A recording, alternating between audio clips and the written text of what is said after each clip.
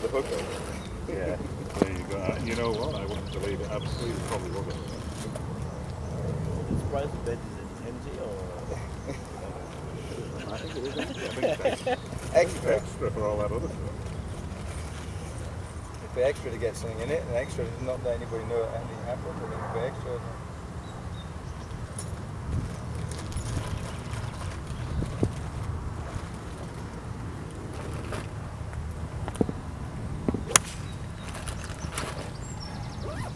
That's what the serviceman is. Got Oh, I can't.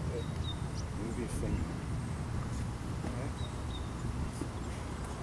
And you had two drinks in it.